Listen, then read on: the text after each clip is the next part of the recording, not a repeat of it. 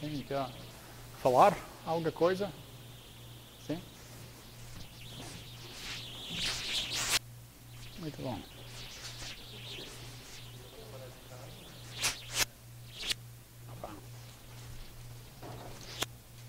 Se você tirar uma foto, porque de mim, porque uma amiga, uma amiga quer ver ah,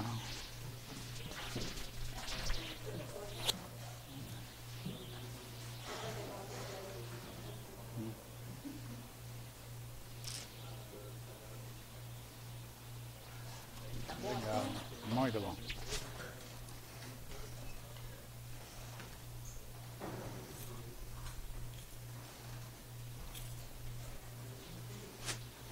Ok. Ah, posso começar? Ok, boa tarde. Então, ah, a pergunta motivadora para a nossa aula de hoje é a seguinte. Por exemplo, no caso de Perceptron, que é uma rede neural mais simples imaginável, para vários valores de parâmetros, ele produz funções diferentes, funções binárias. Né? E nós sabemos muito bem quais funções são produzidas pelo Perceptron, são funções indicadoras de semi-espaços. Semi-espaços. Então, a coleção é muito muito simples. Tá? Somente pode realizar uma separação linear. Espaço. É muito, as capacidades são muito uh, limitadas, as capacidades de ajuste, para ajustar. Então a pergunta natural é a seguinte, para redes neurais de uma arquitetura mais complexa, uh, podemos aproximar qualquer conceito booleano? A resposta é bastante surpreendente, é positiva. A resposta positiva é dada pela, pelo teorema de uh, Sebenko, é uma pesquisadora americana, mas como seu sobrenome indica, é o sobrenome de origem ucraniana. E para mim é difícil pronunciar, porque eu pronuncio, estou pronunciando como Tsibenko, deve ser Tsibenko. Né? Para mim é Tsibenko. Ok. O teorema de uh, George Sebenko, que, que diz o seguinte, para uma rede neural de uma arquitetura muito simples, que somente tem, que tem um número fixo de unidades de entrada, K unidades para coordenadas de um vetor no, no espaço RK.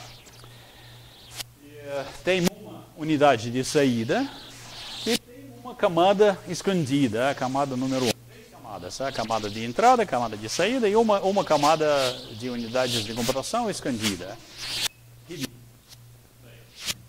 E uh, todas unidades de computação são perceptrons, de mesmo como no primeiro slide. São perceptrons. Então, quando m, o número de unidades na camada escondida, bastante grande, mesmo essa rede neural pode aproximar qualquer conceito booleano. Né? E, uh, mais exatamente, dado uma medida de probabilidade μ e dado uma epsilon, existe m tão grande que existe uma escolha de parâmetros do sistema, do, da rede, tal que a função binária produzida pela rede aproxima uh, o conceito uh, C com uh, precisão epsilon, com dada precisão. E quantos parâmetros tem? Essa, essa rede é assim. tem k unidades de entrada, cada aceita um número real, uma coordenada do vetor. Tem m unidades de camada. Aqui, cada, cada, cada um deles, cada uma delas usa todas as coordenadas, o, o vetor inteiro, então ela tem uma dimensão k, tem k mais 1 parâmetros, né? então temos k mais 1 vezes m, e temos também uh, parâmetros para essa camada. Temos, uh, de fato, aqui não precisa parâmetro linear, somente precisa m parâmetros, m coeficientes, m pesos aqui. Então o número total de, de assim, K mais 1 vezes M, mais, ó, mais M aqui. De fato, M. Para que como está formulado, M mais 1, porque 1. E vamos deduzir para mostrar esse teorema, vamos deduzir de um resultado, um resultado mais, mais geral. Nomeadamente, tudo isso, essa parte é sem mudança, mas aqui, para uh, esta unidade de computação de saída, em vez de um terceiro, vamos fazer o seguinte, vamos simplificar, vamos tirar a função de Heaviside. Então, vamos somente deixar a parte afim, essa função. Né? Então, desse modo, a função da, da, saída vai ser, não vai ser binária, vai ser uma função, uma função real. E vamos mostrar o resultado para essa função real, porque a prova é mais simples nesse. Daqui deduzimos o resultado para no, no original. Então, essa perspectiva um pouquinho mais geral. Uma neural, realimentação, é, uma, tendo uma camada, camada de entrada como K unidade, uma camada escondida como M e uma unidade de que supõe que todas as unidades são etc., só que a, a unidade de, de, saída é linear. É mesmo mais simples. Não tem função de ativação, essa função de heavy Não tem parâmetro linear. Somente a, a unidade de saída somente uma combinação linear de, de entradas. Então, para cada medida de probabilidade, n pode aproximar qualquer função do, do espaço L da, da classe L. Ou mais exatamente, dada a medida de probabilidade, uma função sobre R, R, RK, que pertence à classe L1, o integral de valor absoluto é existe M, existe uma escolha de parâmetros do, da rede, o número é, aqui é correto, 100 mum, porque nós tiramos o parâmetro linear. É, gerado uma função que é epsilon próxima à função g na distância L1. É claro que você pode generalizar, pode formular equivalentes para LP, todas as distâncias, isso é sem importância. Sempre pode ser feito. Vamos, vamos mostrar. E por que, por que esse resultado implica o resultado precedente? Porque uh, uh, fazemos o seguinte, fazemos o seguinte, uh, este teorema este teorema pode ser aplicado à função g, que é a função característica, a função indicadora do conceito. Função indicadora de conceito. Então, função indicadora de conceito, do nosso conceito, ser aproximada pela uma função gerada pela essa rede. E agora é muito fácil ver que uh, essa função, se aplicarmos a função de Heaviside a essa função, obtemos um... Não exatamente, uh, não exatamente verdadeiro, porque a gente precisa brincar um pouquinho com essa função. Se, pode ser que essa função aproximante é menor que 1. Nesse caso, uh, ah, menor que 1 é normal, é? sem problemas, menor que 1. Menor que 0, é, não, não, é normal, é normal. Aplicamos função de Heaviside e obtemos uma um conceito que aproxima com precisão epsilon. Não, não, tudo funciona bem. Então, esse, esse teorema implica imediatamente o primeiro teorema é mais fácil. A prova é muito elegante, de fato. Ok. Uh, então, vamos uh, discutir o, a afirmação desse teorema, primeiramente. Vou relembrar a, a camada escondida consiste de, das unidades que são perceptrons, ou seja, as funções geradas pelas essas unidades podem ser escritas como assim, como sempre, como, uh, como isso. Uma função afim, ou seja, o produto escalar do, dos inputs como coeficientes, como pesos, menos valor linear, e aplicamos como esse valor a função de Heaviside. Isso é, essa função é o, a função indicadora de, de um eh, semi-espaço. Um semi e a, como a unidade de saída não tem valor linear, ela só tem peso, sabe? e esse valor linear é zero. Então, o que ocorre quando a unidade de saída, com m inputs, aplica a essa calculação, essa uh, transformação aos inputs que são iguais uh, a esses, esses valores, é? eta, função de Heaviside, de uma função, enfim. Formamos uma combinação linear. Isso, e, uh, o teorema diz o seguinte, se M é bastante grande e coeficientes estão bem escolhidos, então essa função aproxima a função desejada. Em outras palavras, palavras mais, mais matemáticas, na linguagem linear, as combinações lineares de funções indicadoras de semi-espaços, eles são densas, são densas no espaço L1. L1 relativa à medida μ, qualquer que seja a medida μ. Eles são densos. Então, vamos, uh, vamos mostrar esse, esse resultado, que funções indicadoras de semi-espaços, semi-espaços, eles uh, geram um subespaço denso, um L1 de μ, qualquer que seja μ. Uma reformulação, podemos esquecer redes neurais agora, podemos esquecer M, uh, uma forma mais, mais simples, tá? assim, desse modo. Ok, então vou relembrar o resultado, uh, bastante famoso e bastante, uh, para mim ainda, sempre curioso. Uh, mas eu tenho dificuldade de acreditar.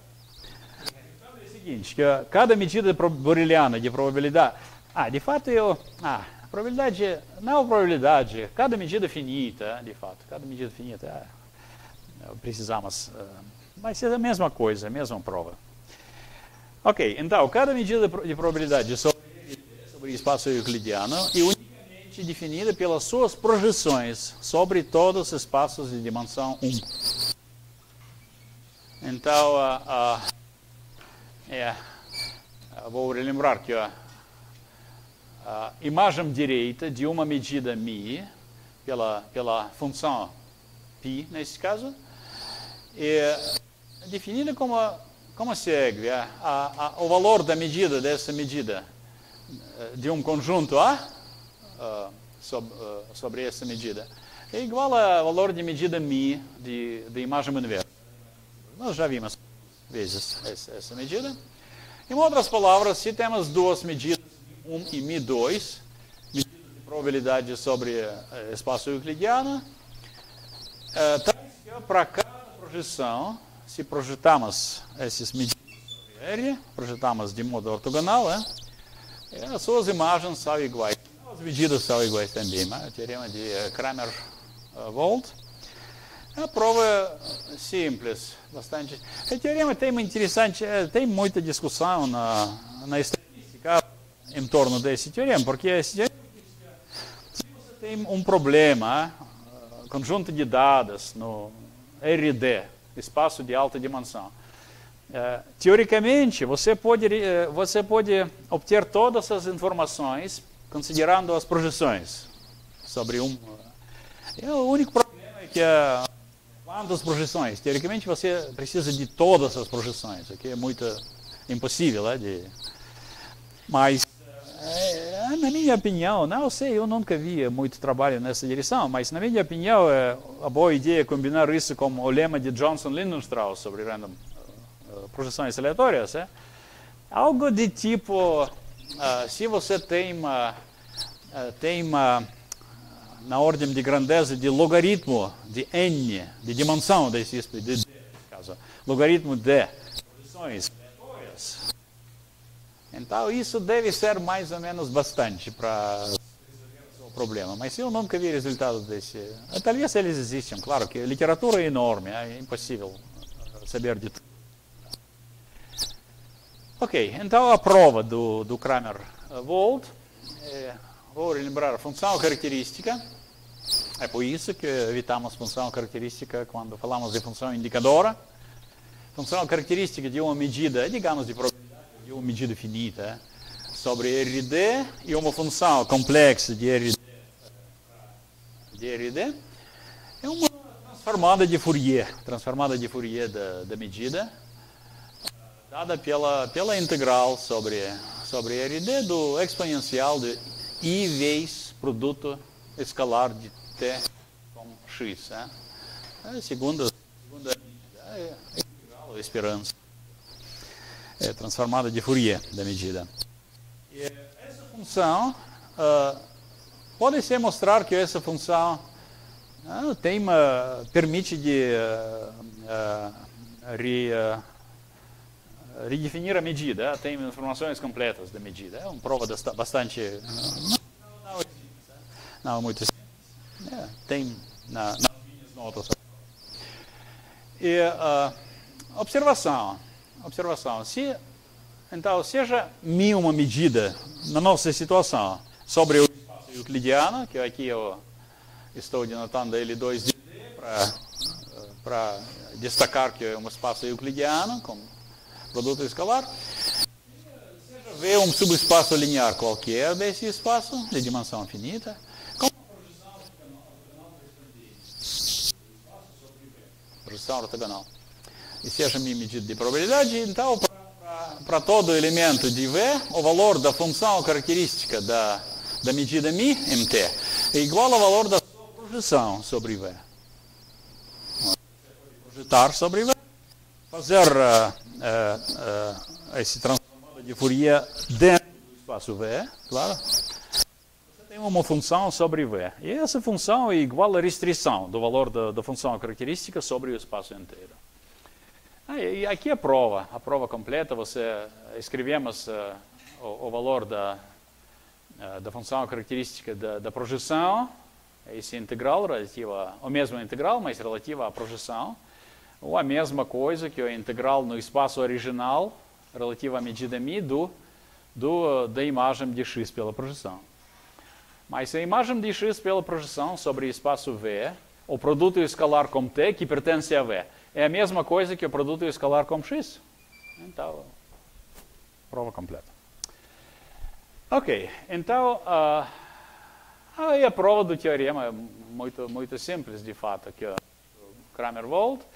Se temos duas medidas uh, que têm uma propriedade que qualquer que seja a projeção ortogonal sobre um espaço de dimensão 1, as imagens são iguais, então uh, segue as funções características das imagens são iguais. É? E por isso, cada subespaço de dimensão 1, a restrição da função característica de μ1 sobre esse espaço é mesmo, segundo o nosso, nosso lema, que a função característica da imagem, mesmo que a da segunda imagem, mesmo que a restrição da primeira sobre V. Mas uh, espaços de dimensão 1 cobrem o espaço, então as funções características são iguais. Então isso é uma, uma prova muito simples. É isso Outra reformulação que vamos usar é a seguinte, que os valores de duas medidas de probabilidade sobre o espaço euclidiano, eles são definidos pela todos semi-espaços afins. Pela, pela, pela, pela seus valores sobre todos os espaços afins, né, essas medidas. Em particular, se, se valores de medidas Mi1 e Mi2 sobre todos os subespaços afins são iguais, então as medidas são iguais. Por quê? Porque as medidas são definidas pelas projeções sobre espaços de dimensão 1. E cada medida no, na reta é definida pela sua função de distribuição. E o valor da função de distribuição, um ponto t, é a, claro que é a probabilidade do, do, do, x ser menor que o t, é a mesma coisa que a, a medida do, do espaço, do semi-espaço correspondente. Então, isso é muito útil. Ok, e agora a prova do, a prova do teorema de Sibенko, que não é, não é complicada. De fato, na, nas minhas notas está um pouco sobrecomplicada. É mais simples do, do que isso. Então, vou relembrar. Nós mostramos isso, que o espaço vetorial gerado pela, pela, pelas uh, uh, funções indicadoras de todos os semi-espaços, isso significa, é denso, ML1 RK mi. Então, fixemos uma medida. E, uh, seja φ um funcional linear contínuo ou limitado sobre L1 de qualquer, uh, com, tendo a propriedade que a sua restrição sobre, sobre V é zero, é identicamente zero. E vamos mostrar que, de fato, esse funcional é zero, identicamente. E pelo teorema de Hahn-Banach, isso significa que o subespaço é denso. É? Porque se, se não, não, não fosse denso, existiria um funcional não trivial que se anula sobre esse subespaço. E, uh, então, tem um, um resultado uh, não simples eh, para mostrar que cada funcional linear limitada sobre L1 relativa a uma medida é dado necessariamente pela uma função. Pela uma função essencialmente limitada, elemento de L infinito de 1, função g, assim, pela integração. O valor de φ em qualquer, qualquer uh, função, h, é igual à integral do produto g, h, relativa à medida μ. Então, cada, cada uh, funcional limitado é representado assim o espaço dual de L1 de μ é igual a esse, esse espaço L infinito de μ. E, uh, uh, então, uh, para toda função afim, para toda função afim, segundo a escolha de φ, porque esse φ se anula sobre V, só, só quero registrar esse fato. O integral de o valor de nessa função que é a função indicadora de um semi-espaço, ah, essa função aqui. Uh, o valor de φ nesse, nessa função, ou mesmo integral, ah, esse integral uh, não é necessário, eu é não sei de onde vem. Integral, aqui. E, o integral de produto de g, dessa função g, como a nossa função indicadora, é, é zero, sempre zero. Ok. Vamos repetir no, no slide que vem. E, uh, então, Aqui eh, guardamos essa representação de φ como integral. E essa função de g que representa o funcional φ pode ser escrita como a soma, a diferença de parte positiva e parte negativa, duas funções positivas. Ah, então, essa função é essa função. E uh, agora defini, uh, definamos duas medidas. Qualquer subconjunto booleano do RK, definimos, definimos duas medidas medida é, é, ni mais de b é integral de g, g mais uh, sobre b relativa à medida mi. Okay? Então, é uma medida cuja densidade é a parte positiva da função d. E dado, e, de mesmo para ver ni, ni menos. Ni menos de b é integral de g menos de x mi de x sobre, sobre b. Então, temos duas medidas finitas. E uh, eles, por que finitas? Porque é claro que o integral sobre uh, R, RD, RK inteiro uh, é me, menor que ou igual, porque essa é a medida de probabilidade minha, menor que ou igual ao supremo essencial de G, que é finito. A norma de G no L infinito, no espaço L infinito. Por isso, eles são medidas finitas. E nós vamos mostrar que eles são iguais. E isso vai terminar a demonstração. É mais ou menos quase óbvio, mas vou dar o argumento. Por que isso termina a demonstração? Eles vão terminar a demonstração porque, nesse caso, FIA se anula em toda parte. O último slide da, da prova. Uh, então, uh, mais uma vez, vou relembrar que para toda função indicadora de um semi-espaço, S, o integral de G é igual a zero dessa função, do produto com essa função é a definição de duas medidas, e segue-se, combinando essas duas fórmulas, essas duas fórmulas, concluímos que o ok, g é igual a g mais menos g menos. Então, o integral com g mais é igual a mesmo integral com g menos. Eles são iguais. Isso significa que, que a, a integral dessa função relativa à medida é, ni mais é igual à integral relativa a ni menos. É? Mas isso significa que os valores de uh, ni mais e ni menos sobre cada semi-espaço são iguais. Porque é uma integral de função característica do semi-espaço relativa a essa medida. É a medida desse semi-espaço. Mesma coisa. E segundo o teorema de Kramer-Wold, uh, essas medidas são iguais. E segue-se que o valor de, da nossa funcional em qualquer função, booleana limitada, digamos, qualquer função L1, é igual ao integral de x vezes h dessa função. Segundo a mim, u pode ser escrita, pode ser escrita como a diferença de dois integralas de h relativa a ni mais e relativa a ni menos. Eles são iguais, dois, dois integralas. Então é zero. Só demonstração. A minha prova é complicada demais nas notas. Poderia ser assim. Ok para a segunda edição, provavelmente. Então, o teorema de Sibenko foi mostrado. Alguns comentários, alguns comentários e tem, claro que você pode imaginar, foi um, um resultado de uma importância uh, uh, muito grande na teoria de redes neurais. E tem uh, centenas e centenas de generalizações, muitas. E vou mencionar algumas de, de mais importantes. primeiramente, nesse argumento, em vez de, de função uh, de Heaviside, essa função de ativação que usamos, pode-se usar qualquer função sigmoide. O que significa? Sigmoide é uma função que, que se comporta dessa maneira. O limite no menos infinito é zero, limite no mais infinito é 1. Um. Mais ou menos isso. Claro que tem que ser mensurável essa função. Então, se temos uma função booleana limitada e, mensura, e, e sigmoide, com essa propriedade, então essa função pode aproximar então, a gente pode fazer o seguinte. A gente pode fazer o seguinte. Então, temos essa função sigmoide, é?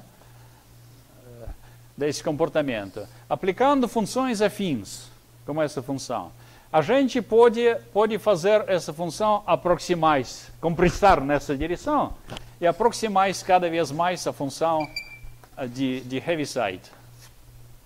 Ok? Então, esse é o argumento, claro que é o que eles, eh, não sei se existe expressão portuguesa, no inglês eles dizem a hands waving argument. Mas isso pode ser formalizado muito, de modo simples. Eu não quero discutir isso muito tempo. Então, o teorema de, de Sebenko original menciona qualquer função sigmoide, de fato, foi mais geral. Mas eh, isso reduz, esse caso se reduz, eh, como esse simples argumento, ao nosso caso. E a somente a escolha, porque nós, é, a escolha de funções afins, a escolha mais, mais elaborada um pouquinho. Outra generalização, acho que é mais importante de todas que existem agora, pertence a Hornig. Uh, ele, ele mostrou um resultado surpreendente, isso é não trivial, muito não trivial, que uh, ETA pode ser substituída Uh, não somente pela uma função uh, sigmoide, mas pela função qualquer. Qualquer com única, única restrição que ela não seja essencialmente constante. Essencialmente constante significa que uh, se você tira dois pontos aleatórios segundo a medida de A, ok, aleatórios não funcionam, ok. Isso significa que ele, ele ele não é constante sobre um conjunto da, da medida plena, ah, cujo complemento é negligenciável. Só isso. Só existem, em outras palavras, existem eh, dois, eh, dois subconjuntos da medida positiva onde eles são separados, valores dessa função. Só isso. Isso é uma restrição muito... Claro que isso, se, se for essencialmente constante, a, a unidade vai sempre gerar uma constante. É? Então, nesse caso, claro que isso não mas, uh, se não, é, então o mesmo resultado. Uma rede usando qualquer função de ativação. O fato de ser uh, sigmoide não importa, não importa nessa teoria. É uma coisa, uh, provavelmente é melhor para aproximação, mas pra, do ponto de vista da aproximação desse teorema, não. Provavelmente a aproximação é mais, é mais rápida nesse caso, como sigmoide, melhor. Mas prova é muito, muito mais difícil, mais avançada, baseada sobre um resultado difícil de, de Wiener na análise uh, harmônica. Uh, agora, uh, e tem um problema ainda, acho que ainda é aberto, porque eu, eu, eu fiz pesquisas, eu não achei nada. Uh, de fato, eu, eu vi todos, todos esses artigos que, citando Hornig, eh, foi um trabalho bastante considerável, mas eu não achei nada.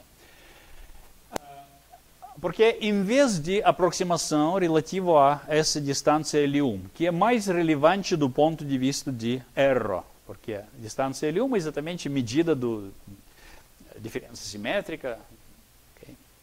Isso é relevante do ponto de vista da aprendizagem. Mas a gente pode, pode considerar outras distâncias. Por exemplo, a, a, a distância uniforme sobre compactos, essas coisas, é? entre as funções contínuas. A pergunta é a seguinte: ele perguntou quais são as condições necessárias e suficientes sobre uma função de ativação sem restrição nenhuma. Não necessariamente booleano, nada, nada, nada. Porque para garantirmos que a classe de funções geradas pela, pela essa rede aproxime todas as funções contínuas dessa vez, funções contínuas formam uma classe menor, mas a topologia de convergência uniforme sobre compactos. Eu não vou discutir isso, mas se, você, se vocês conhecerem, mas topologia pode ser um problema interessante do ponto de vista. Problema típico, acho que o problema pertence à análise funcional principalmente. Mas seria claro que esse, esse artigo é muito, muito, bastante, muito importante, é muito citado. Acho que o problema merece. O problema é interessante. Uh, ok, então. Uh, agora, e outra, outra, uh, outra direção de pesquisa, se, se vocês quiserem entrar nessa área, isso pode ser interessante, esse, esse artigo. Porque agora, uh, por causa do, do, das redes neurais profundas, uh, tem muito, muito interesse pela teoria. Teoria uh, falta, pelo momento. Teoria falta. Teoria séria falta para eles. Em particular, é bem conhecido do ponto de vista prático e teórico também, que eles podem, se você tem mais de uma camada escondida, porque no teorema de Sebenko tem somente uma camada escondida. É só o número de unidades que cresce nessa camada. É?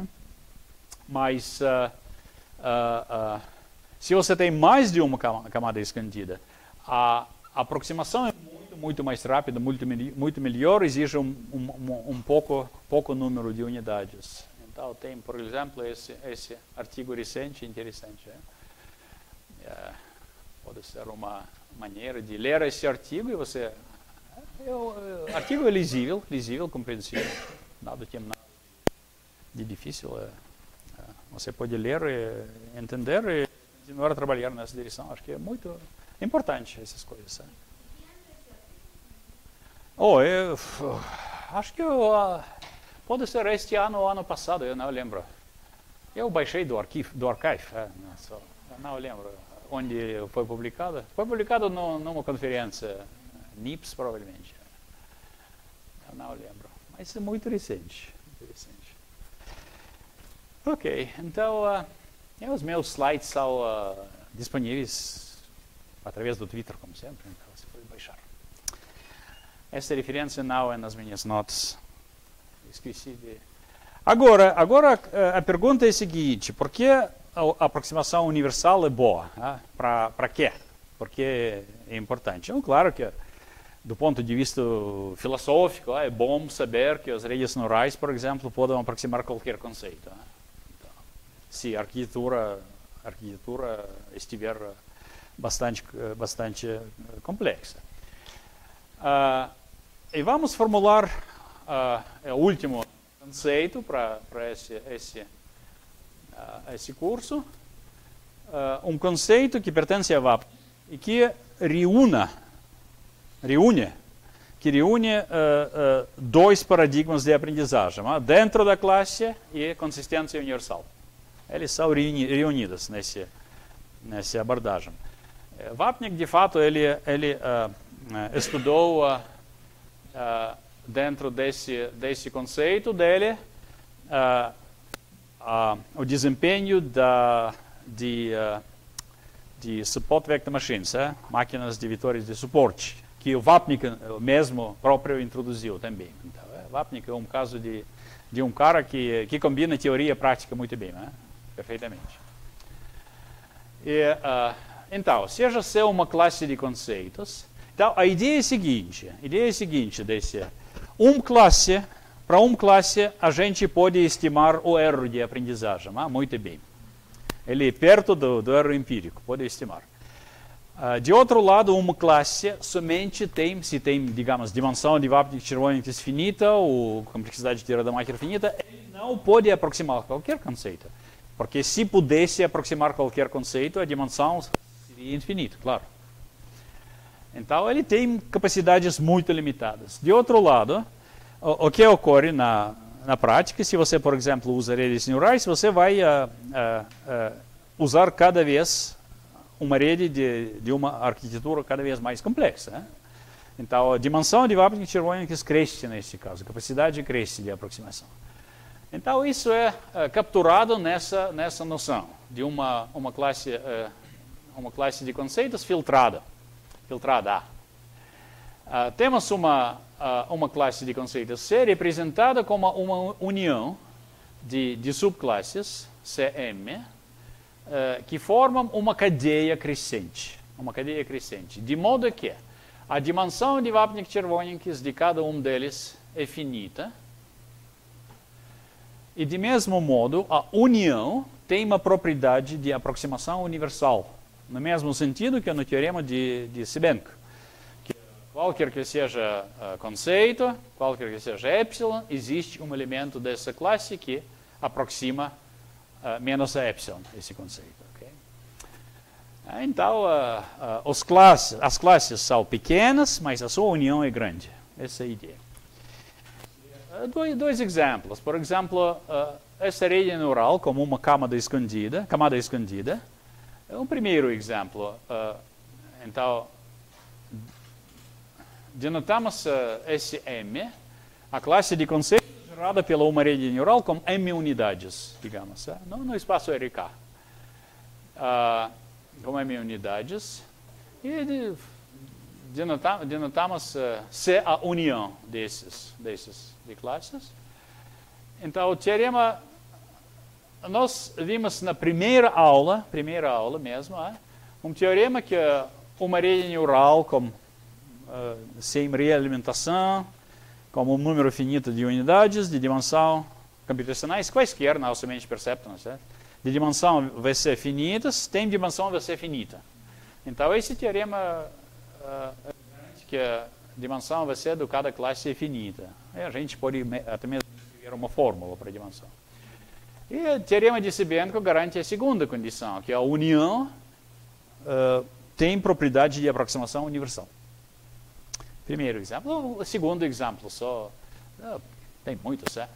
Uh, seja CM a classe de conceitos da forma seguinte: PM é um polinômio de grau M, MRD, é função de Heaviside.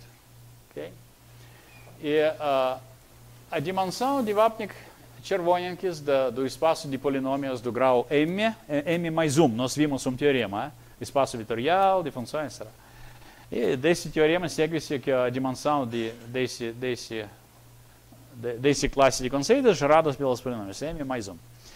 E de outro lado, uh, pode-se mostrar que esse espaço tem uma esse, a classe tem propriedade de aproximação universal usando preciso o teorema de Stone-Weierstrass, nesse caso. E, propriedades da medida e regularidade, porque tem, você tem que restringir a medida sobre um compacto para usar Stone-Weierstrass, mas isso pode ser feito. Uh, agora, e agora duas lembranças de resultados que nós precisamos para formular o resultado central.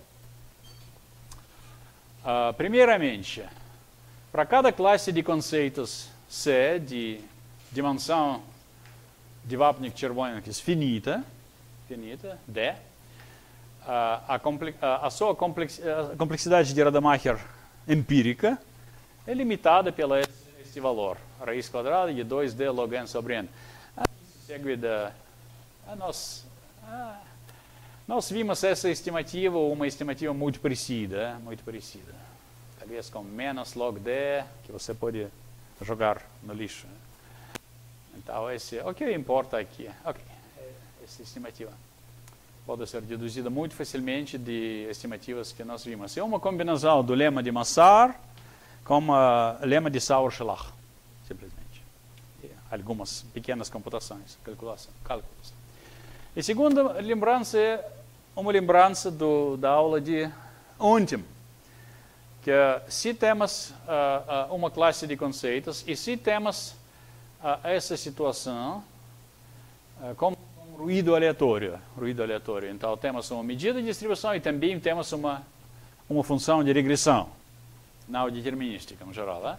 Então o erro empírico de aprendizagem, como como se é aproximadamente igual ao erro, erro de verdade, onde uh, onde epsilon é igual a esse valor. Esse valor complexo.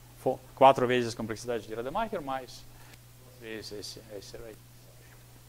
Isso explica essas duas expressões, vai aparecer algumas vezes. Então, o lema, o lema técnico, mas muito simples. Esse lema é uma combinação de, uh, combinação, combinação de dessas lembranças, duas lembranças. Então, seja uma, seja essa uma classe filtrada, uh, e seja delta m uma sequência de números positivos, uh, uh, tal que a soma de delta m é igual a delta. Okay? É a soma de confianças. É?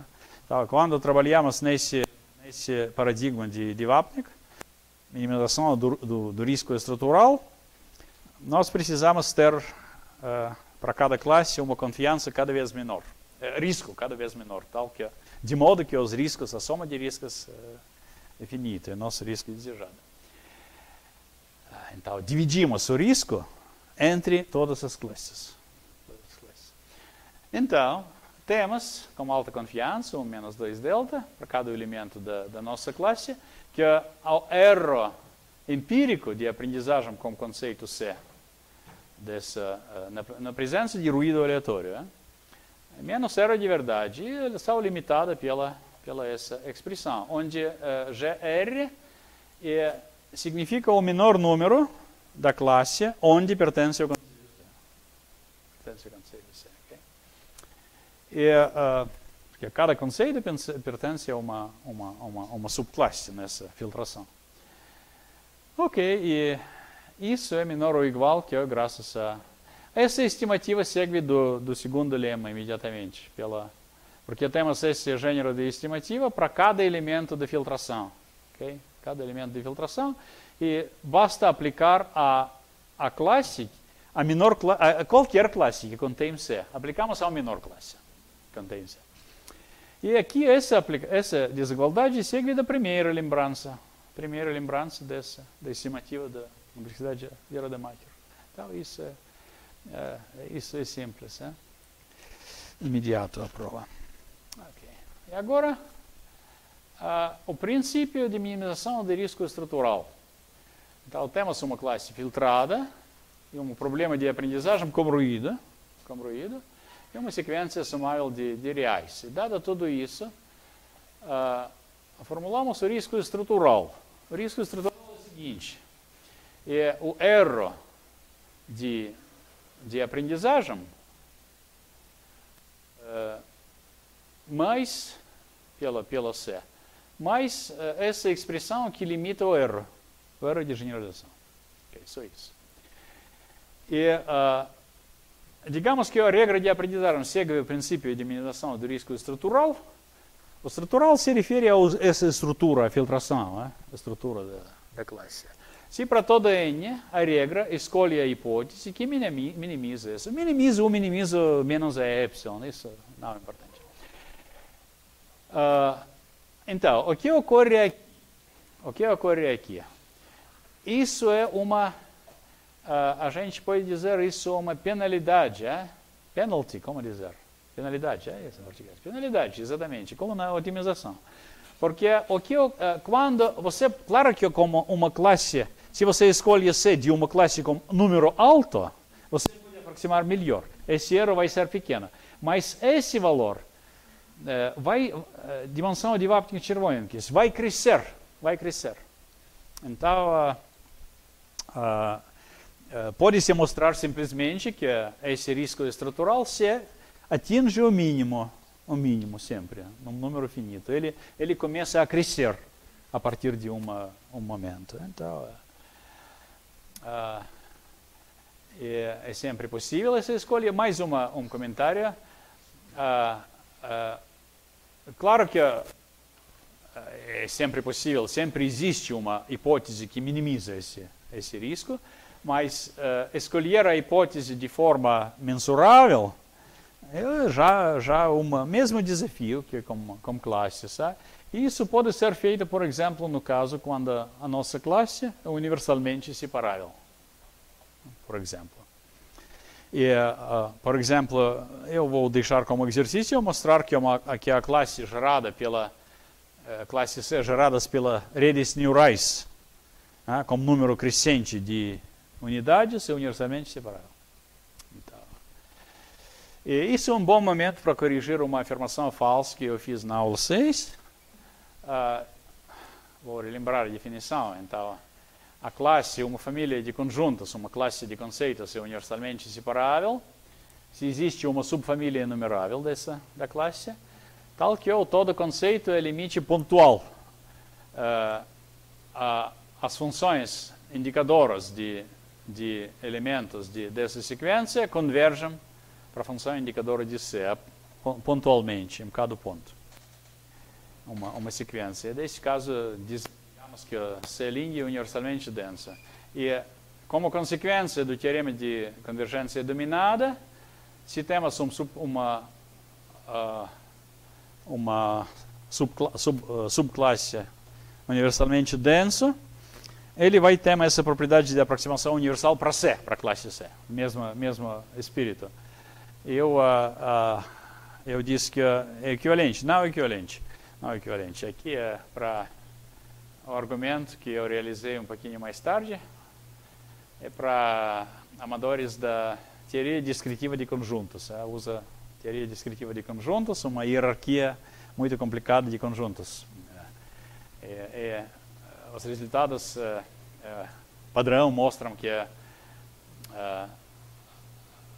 os elementos, por exemplo, no classe de se, se C linha consiste de classe de uh, conjuntos abertos e fechados no espaço de Cantor, então uh, os limites de sequências que podem ser obtidos deles são todos uh, de o que se chama classe de B1 mas uh, funções que podem ser aproximadas em cada L1 de Mi, eles são muito, muito mais, mais amplas. Uh, eles são conceitos, eles, conjuntos, eles são conjuntos universalmente mensurais.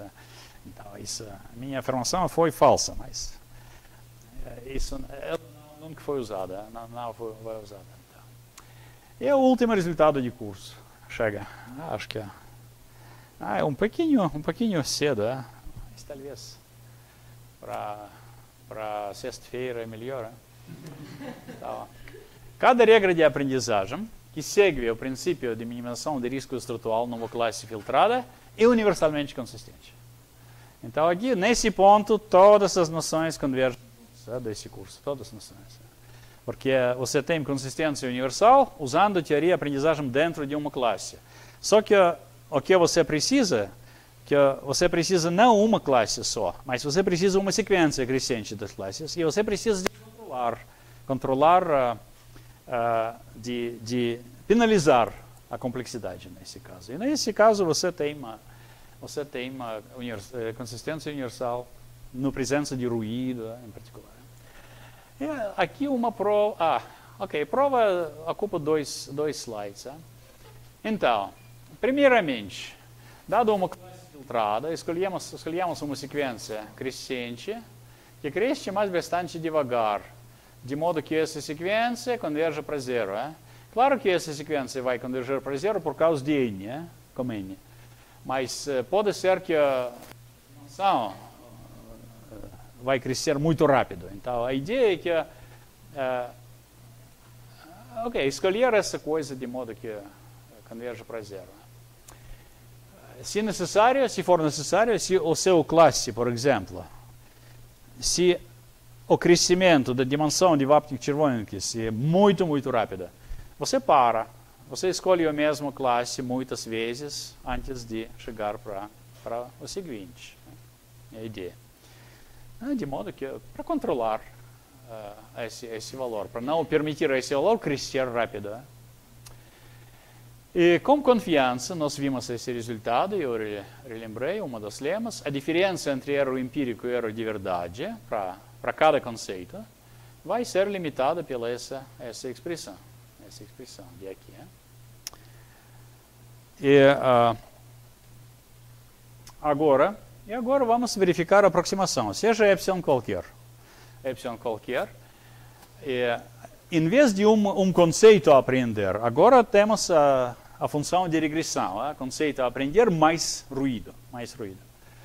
Mas, em, em, qualquer caso, esse, esse ruído, esse problema de aprendizagem, temos erro de base. Erro de base agora. Aqui eu, eu, eu não, não lembro se eu usei essa notação aqui. Acho que eu usei essa notação. Ele, ele, ele é estrela, ele é estrela para erro de base. Erro de base desse problema. É o menor erro de, de qualquer classificador, de classificador de base, de fato. Erro de classificador de base, aqui. Ok, então, uh, existe M tão grande, então podemos uh, uh, aumentar a complexidade até o momento que a classe CM contém um conceito cujo erro é epsilon pronto do epsilon perto do erro de base, okay? do, de, de classificador de base. Então, em outras palavras, uh, uh, a diferença simétrica entre eles é menor que epsilon, tem medida menor que epsilon. E a partir desse m, claro, porque é uma filtração, é uma cadeia crescente, cadeia que cresce. A partir desse momento, esse C vai pertencer a todas as classes com número maior. E uh, pra, com, alta, com essa confiança, a regra vai escolher uma hipótese cujo erro empírico menos erro de verdade vai ser limitada pela essa expressão. Okay? E uh, porque esses classes com alto número, bastante alto número a partir de m, eles contêm um conceito que aproxima bem o nosso problema. Então, com alta confiança, a, regra vai, vai uh, escolher um conceito que, pelo menos, uh, que aproxima pelo menos uh, tão bem, tanto bem que quanto quanto C, como, que C, como C. E a erro de aprendizagem vai ser limitada pelo erro de base mais epsilon, daqui, e mais essa expressão e mais expressão de...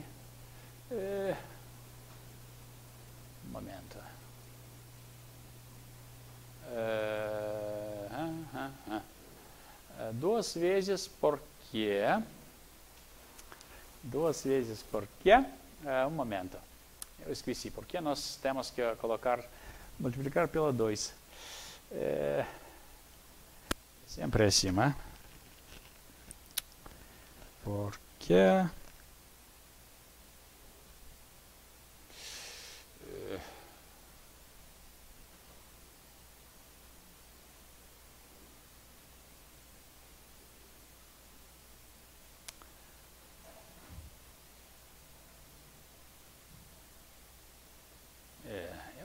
esqueci. O argumento é o seguinte, que é, ok, C tem erro menos epsilon, mas não tem garantia que, de que a regra vai, vai achar C próprio. Hum, não, não é isso. É, não lembro, na verdade, porque, porque nós precisamos uh, dobrar essas coisas. Mas, mas tem uma razão, eu esqueci. Ah, talvez não precisamos, né? Porque Ok, no, no caso ideal, a nossa hipótese, a nossa regra vai, vai pegar C. Se não tem melhor aproximação, ele vai pegar C. Eu não entendo porque, porque eu coloquei a... Talvez não precisa, precisa de 4 e 2. Talvez 4 e 2. Okay. É. Algo desse modo. Okay. Mas, é, ok, é, isso não, não importa para a consistência, porque quando n converge para infinito, esse raiz converge para infinito, esse raiz converge para zero, esse converge para zero, ok? Segundo a escolha da, da nossa sequência. E uh, epsilon é, foi qualquer, pode ser tão, uh, tanto pequeno como desejado. E essa coisa converge para zero uh, aqui. Então, o erro, o nosso erro converge para erro de base para cima, para cima. Isso, isso, uh, uh, ah, isso, isso mostra que uh, o, o, algoritmo é universalmente consistente. E uh, Vapnik próprio, ah, como eu disse, eu já mencionei, ele, ele usou isso para analisar uh, support vector machines, principalmente. Essa, essa abordagem. Ok, então eu só queria dizer que uh, eu gostei de, de, de ministrar esse curso. Muito, é, muito obrigado pela Florença, pelo, pelo convite. Foi muito, muito interessante. Acho que uh, eu uh, consegui mais ou menos, não sei se eu, as aulas eram compreensíveis, mas eu consegui colocar nas aulas ah, dois terços do, do livro. Né? mais ou menos. E, ah, foi uma coisa a fazer. Muito, o curso foi muito melhor do que no IMPA. O IMPA foi muito curto, curtinho, sem provas, sem provas. É só hands waving. Mas aqui acho que. É. Ok, muito obrigado, muito obrigado.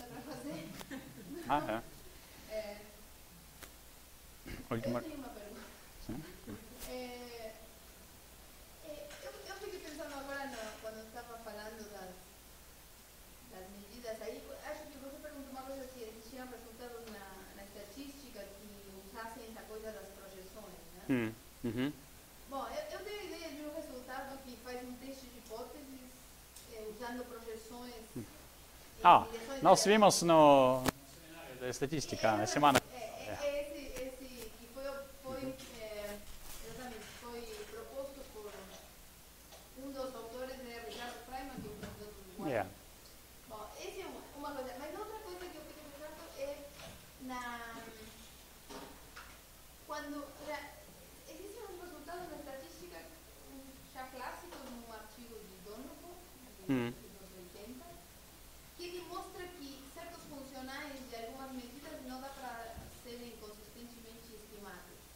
Hum, eu não sei. Se... Eu não vi coisas similares aqui, não sei se isso é usado hum. em toda essa teoria. É, e são coisas topológicas, porque ele mostra que quando, uma, quando o funcional da medida não é contínuo, você nunca não pode ter um, um estimador consistente. Oh, interessante. Eu, não, eu gostaria de dar uma olhada, porque é claro que o Dono foi uma, um grande, grande pesquisador, é, grande cientista tudo que ele ele disse é interessante sempre. Eu gostaria de dar uma olhada. Eu não sei. Uhum. Ah, pode ser. É. Uhum. Ok. Uhum. Obrigado pelo comentário.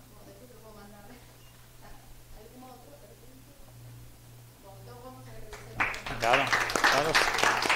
É essa.